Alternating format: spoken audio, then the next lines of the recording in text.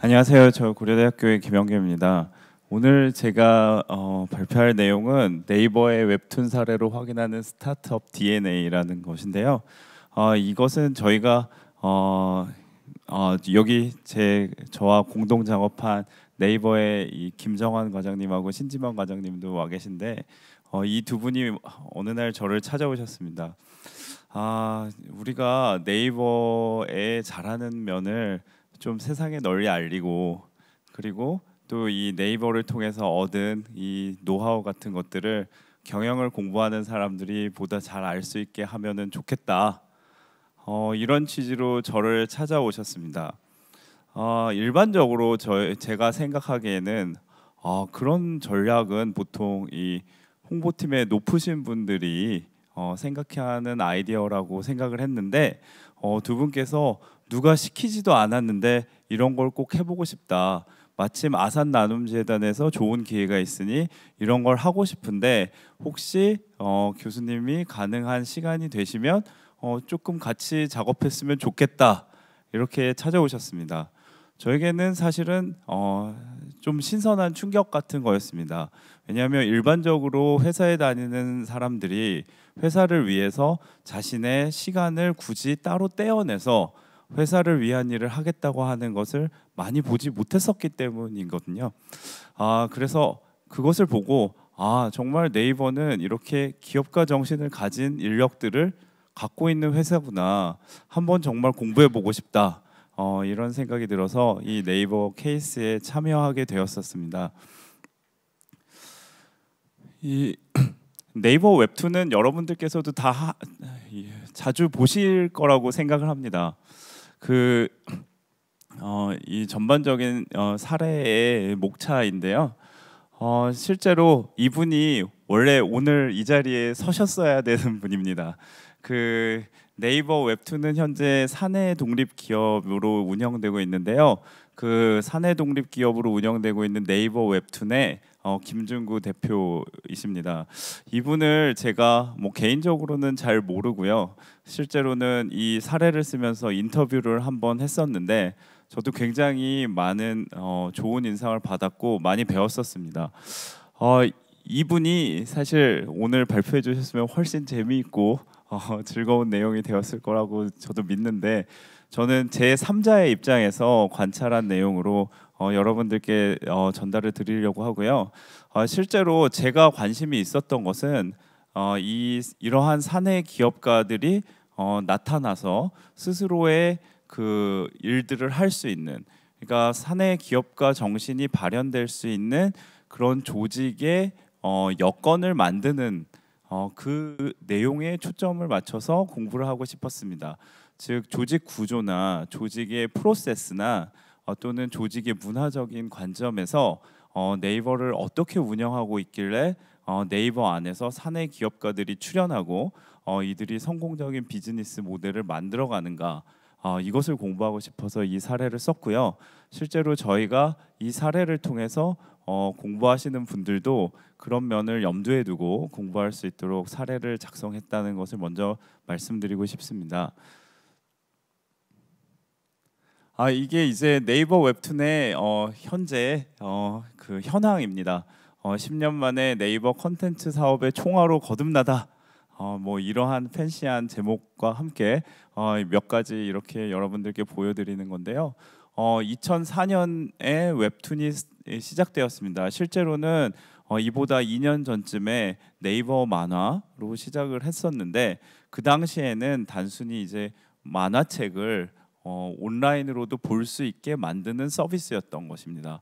그러나 지금은 어, 그야말로 어, 다양한 참여자들이 참여하는 플랫폼으로 거듭나서 실제로 어, 웹툰이라는 새로운 장르로 어, 많은 사람들을 어, 행복하게 해주고 있다고 생각합니다.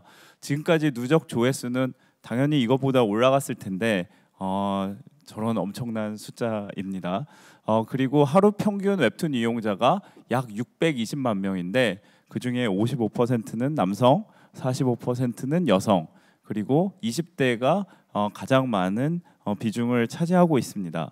어, 그리고 어, 이제 저기 보면 네이버 웹툰의 초기부터 참여한 작가 중에 최근 드라마화된 마음의 소리의 작가 조성님의 경우 어, 2006년에 저런 모습에서 어, 2014년에 어, 어디죠? 이게 레이, 레이 저 하는 걸 제가 배웠는데 지금 잘 못하겠는데 보시다시피 이런 모습으로 어, 결혼도 하시고 10주년 기념 얼마 전에 어, 또 어, 많은 축하도 받으셨던 것 같은데 어, 특히 댓글로요. 예, 이런 어, 최근에 또 문유라는 웹툰을 시작하셨던데 아, 이렇게 변하셨고요. 그 다음에 마음의 소리는 여전히 어, 천 회가 넘는 연재를 하고 여전히 절찬리에 연재되고 있고요. 어, 그리고 실제로 이 마음의 소리는 어, 최근에 그 런닝맨으로 유명한 이광수 씨가 어, 조석 역할을 맡으면서 어, 지금 현재 어, 인기리에 방영이 되고 있는 걸로 알고 있습니다. 그리고 네이버 웹툰의 또 중요한 어, 어, 참여자가 네이버 웹툰의 작가인데요.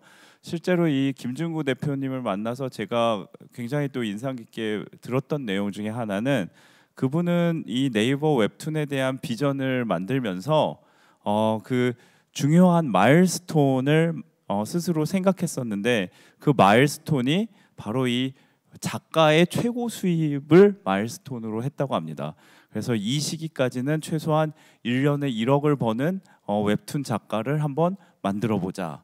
어, 이때까지는 1년에 어, 2억을 버는 웹툰 작가를 만들어 보자. 이런 식으로 어, 작가의 수입을 말하자면은 그 전략적인 목표로 삼았다는 점이 굉장히 또 어, 특별한 점이었다고 생각합니다.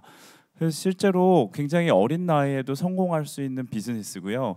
제가 아는 모 교수님께서 말씀하시기를 어, 자기의 친구분께서 어, 정말 골칫덩어리였던 딸이 있었는데 어느 날 웹툰 작가로 변신해서 한 달에 몇 백만 원씩 벌어오는 바람에 지금은 집안에 어, 최고 가치 있는 사람이 되었다. 아, 이런 얘기를 해주셨다는 말씀도 있었습니다. 현재 또 웹툰의 가장 재미있는 점 중에 하나는 이것도 김준구 대표님의 아이디어였다고 하는데 지속적으로 이 컨텐츠를 만들기 위해서는 컨텐츠를 만들어내는 많은 사람들이 참여를 할 수 있는 형태로 만드는 것이 좋겠다라는 생각을 하셨고 실제로 어, 이론적으로는 토너먼트 형태의 크라우드 소싱이라고 볼 수 있는데요. 이 도전 어, 만화를 만들어서 거기에 참여하는 많은 사람들 중에 보다 많은 청중들의 선택을 받은 사람들을 결국에는 어, 웹툰 작가로 발탁하는 그런 시스템을 만들었습니다. 현재 도전 만화 활동 작가 수가 여기 나오는 거의 14만 명에 육박하는 아니 어쩌면 이걸 작성하던 시점이 조금 전이니까 14만 명이 넘었을 수도 있습니다. 이분은 이분이 이제 그 아까 말씀드린 네이버 어, 웹툰 and 웹소설 어, 사내 독립 기업의 김준구 대표인데요. 어, 보시면 아시겠지만 어, 굉장히 젊고 에너지가 넘치고 그리고 또 하나 굉장히 만화를 좋아하시는 분입니다. 뭐 제가 정확히 기억하고 있는지는 모르겠지만 인터뷰 중에 어, 회사에 들어올 당시에 이미 만화를 8천 권 정도 읽으셨다고 했던 것 같습니다. 어, 이분의 말씀을 여기 보죠. 소수의 매니아만 열광하는 만화가 아닌 누구라도 짧은 시간에 재밌게 즐길 수 있는 컨텐츠를 만들어 보자는 게 목표였어요. 여러분들께서 아시겠지만 일반적인 우리가 읽는 만화와 어, 웹툰은 상당히 다르지 않습니까? 어, 그 어, 그래서 이분이 당시에는 그런 표현이 없었지만 요즘에 snack culture 개념이었죠. 매일 가볍게 볼 수 있고 누구라도 그려볼 수 있는 웹툰은 기존 출판 만화와는 다른 특징을 가질 수밖에 없었습니다. 뭐 이런 말씀을 하셨는데요. 아, 실제로 어, 이러한 생각을 하는 것은 사실은 뭐 어떻게 보면은 그야말로 창의적인 아이디어라고 할 수 있습니다. 중요한 것은 이러한 창의적인 아이디어가 묵살되지 않고 어떻게 네이버 안에서 어, 소위 말하는 꽃을 피웠을까 이것이 바로 이제 저희들의 관심사라고 할 수 있습니다. 그래서 실제로 이, 것은 어, 이분이 얼마나 창의적이었던가를 설명하는 것이기 때문에 어, 여기에서는 어, 어 굳이 설명하지 않겠습니다. 관심이 많으신 분은 어, 저희들의 사례 아산 나눔 재단에서 최근에 출판되었는데요. 무료로 다운로드 가능하시니까 어, 한번 보시면 좋겠습니다. 자 실제로 어, 이런 사내 기업가 정신이 점, 더욱 중요해진 계기 중에 하나는 어, 네이버가 나름대로 위기 의식을 얻었을 텐데 이것은 사실 비단 네이버뿐이 아니라 굉장히 많은 기업들이 겪고 있는 것입니다. 실제로 예전에 비해서 소위 말하는 불확실성이 많이 높아졌죠. 어, 그리고 환경의 변화 속도가 빨라졌습니다. 지금 뭐 어제 이제 미국에서도 대선이 있었지만 어, 미국의 많은 사람들이 예상하지 못하던 어, 후보가 당선됨에 따라서 그 정책에 대한 불확실성이 또 엄청나게 커진 것도 사실입니다. 사실 이러한 불확실성 속에서 지속적으로 좋은 경영 성과를 올린다는 것은 상당히 어렵고 네이버 역시 어, 이 그래프를 보면 상당히 왜 저는 레이저가 잘 안 될까요? 어, 이렇게 상당히 잘 어, 되고 있는 것 같지만 실제로는 저기 2008년부터 2010년까지 어, 상당히 어려웠던 시간이 있었습니다. 그 어려운 시간에는 무슨 일이 있었냐면 어, 인터넷 환경이 어, PC 기반에서 모바일 기반으로 바뀌던 시점이었습니다. 그 당시의 일을 어, 제가 이 일 때문은 아니지만 다른 일로 인터뷰를 했던 어, 네이버의 어, BWS 김진희 대표님의 어, 말씀으로는 당시에 너무 충격이었던 것이 어, 네이버는 언제나 1등하는 기업이라고 생각했는데 인터넷에서 어, 모바일 앱 순위를 보니까 10위권에도 없었고 16위에 네이버가 올라 있었다. 이것을 보고 뒷방 늙은이가 되는 것 같은 느낌을 받았다라고 말씀을 하시더라고요. 그 정도로 네이버가 어, 위기를 아 네이버의 매출이나 영업이익은 이 당시에도 나쁘지 않았지만 어, 그 당시에 그런 위기를 느끼던 리더가 있었다라는 것입니다. 어, 네이버 네이버는 뭐 직원 수도 꾸준히 늘어나고 있고 직원도 어, 그런 에, 에, 아니 어, 근속 연수는 꾸준히 늘어나고 있고 직원은 2007년에 아 2008년에 가장 많다가 어, 2013년엔 좀 줄어들었다가 다시 이제 이 정도 수준으로 했는데 뭐 물론 그 상황에는 분사도 있었고 또한 뭐 이제 사내 벤처가 성공한 일도 있고 뭐 여러 가지가 있겠습니다만 어 어쨌든 저 2008년에서 2010년이 됐을 때 어, 그 무렵에 가장 큰 어, 어려움이 있었다라는 것이고요. 어, 이 당시에 이제 아까 말씀드렸듯이 이제 네이버의 리더분들께서 굉장히 이제 그 위기를 느끼시고 어, 여기에서 말씀하신 것처럼 우리가 절대 안주하면 안 되고 인터넷에는 국경도 없고 어, 다윗이 골리앗과 싸워 이길 수 있는 방법은 집중뿐입니다. 이런 말씀을 하셨는데 그 당시에 이제 네이버에서도 굉장히 유명한 뭐 2011년도 어, 2010년도 이때쯤에 어, 정말 혁신하지 않으면 살아남 기 어렵다라는 것을 굉장히 강조하는 어, 여러 말씀들과 함께 어, 조직을 변화하게 됩니다. 그래서 실제로는 어, 뭐 여기서 보시는 것 같이 이제 네이버는 어, 단순한 지분 구조를 갖고 있다는 것은 사실 네이버가 굉장히 다양한 서비스들을 하고 어떻게 보면은 그 중에서 굉장히 성공적인 것들이 이렇게 어, 자회사로 어, 어, 떨어져 나갈 수 있었다라는 것을 또 보여주는 어, 얘기일 수 있습니다. 실제로 어, 어, 최근에도 어, 라인이라든지 그 다음에 또 이제 어, 그 밴드로 유명한 캠프 모바일이라든지 이런 어, 분사가 이루어졌었고요. 어, 그 다음에 그 분사와 또 별도로 어, 내부에서도 웹툰과 같이 사내 독립 기업 또는 이제 여러 개의 어, 셀로 상당한 자율성을 갖고 그 사내 기업가들이 어, 운영할 수 있도록 어, 되고 있습니다. 실제로 이 어, 네이버에는 어, 사실은 창업이 가능한 역량 있는 어, 기업가 분들이 상당히 많이 있기 때문에 그분들을 골드 칼라라고 하더라고요. 그런 골드 칼라들이 사내에 굉장히 많이 있기 때문에 네이버 내부에 그런 골드 칼라들이 네이버 전체를 위해서 일하실 수 있는 그런 여건을 만들어 주는 것 자체가 실제로 이제 네이버 어, 네이버 그 리더 분들의 어, 목표 중에 하나였다는 것이 인터뷰를 통해서 또 확인된 바 있습니다. 아, 아.